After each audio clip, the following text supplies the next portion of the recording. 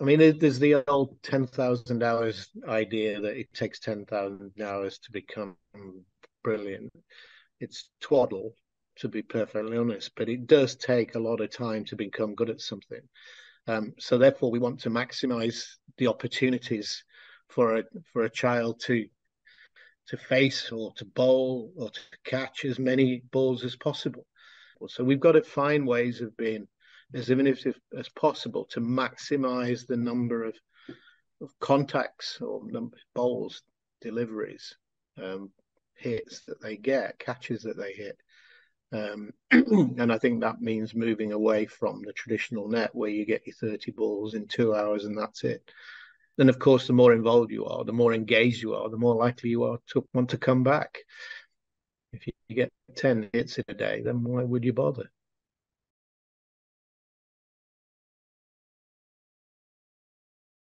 Psychologically, in motivation terms, people are driven by a desire to show you how good they are, to demonstrate their competence, to have autonomy to make choices and, and make decisions about what they want to do, and connectedness or relatedness of of building relationships with people, whether that's their teammates or whether that's the coaches.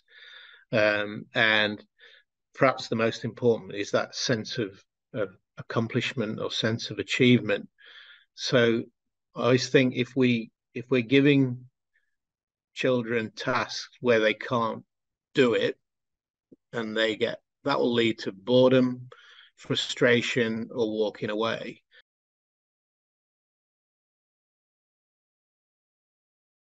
Exploration is is front and center in learning.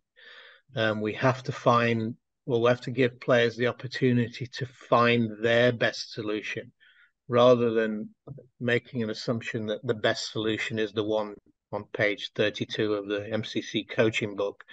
You know, that you have to play the shot like this. We we need to give them the opportunity to to explore. Um, reframe that then that if you're exploring, there are going to be times you do it right, times you don't do it right, and that's not try and reframe that as not making mistakes, but actually as part of the process of learning. By by making a mistake, you work out what not to do. it's often really just as important as working out how to do it as well.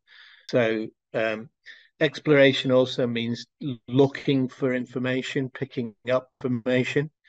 It might be exploring, you know, the bowler's action to try and work out when they're going to bowl a googly or what information do they tell me. We've got to promote that sense of exploration as well. Or um, if you're batting and can you spot the fielder that's too deep? Or can you spot the fielder with no arm or the one who's left handed and right handed? So you, through coaching, we can direct search to, to look for that sort of to get them to explore and find that sort of information so that they can then, then exploit it. You know, like really important. What handed was that was cover there? Oh, I don't know. Right. Well, if you'd have knocked it to that side of him, you could have.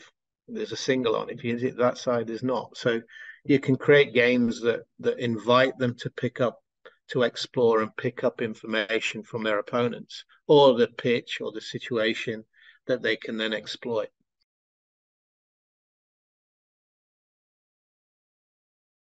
And players will often sit in their comfort zone and, and don't push themselves out of that. And that's where the coach or the game design can actually naturally push on that self challenge. Like we were saying before about the six out of eight, six out of 10. Can you beat that game? Yeah. Okay. Now, can you challenge yourself to get more? Let's find out. Um, but really trying to put the emphasis on them taking responsibility for their own learning with you alongside them as a guide, you know, on, on the I know people don't like to hear, oh, it's a journey, but it, but it is.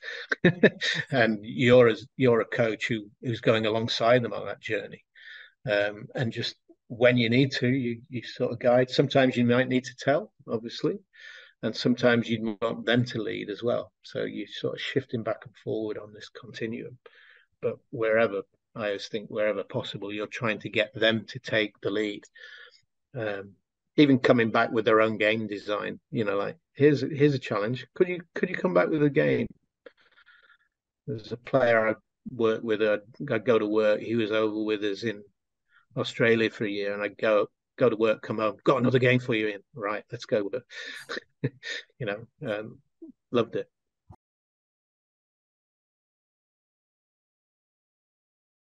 To become good is a very messy journey. Um, and it doesn't it very rarely is a straight line that everybody just you know goes straight through the the system from start to to the top uh, and there will be periods of going backwards in that um, and that's going to be very dependent on the child and and, and often really linked to growth and development um, and i know new zealand cricket have done a lot of work on biobanding and trying to work out you know where you your maturation rate impacts on your performance. But I, think around the teenage years this is where this becomes really challenging for, for coaches and for players. Um, and at 14 i think there can be what is it sort of about 20 centimeters 25 centimeter difference in height between the the tallest and the the shortest. And if you think about that in terms of lever lengths and power then they're all going to solve the problem in different ways, or they're not going to be able to solve the problem if they're tiny. But what they will do is it'll develop their game in a lot of different ways. But that can be a really threatening time for teenagers um, in terms of everybody else, you know, their mates have, have become big and strong and can whack it out of the park, and the little one can't and doesn't think they're as good because of that. And the coaches don't think they're as good because of that, because they don't have the power.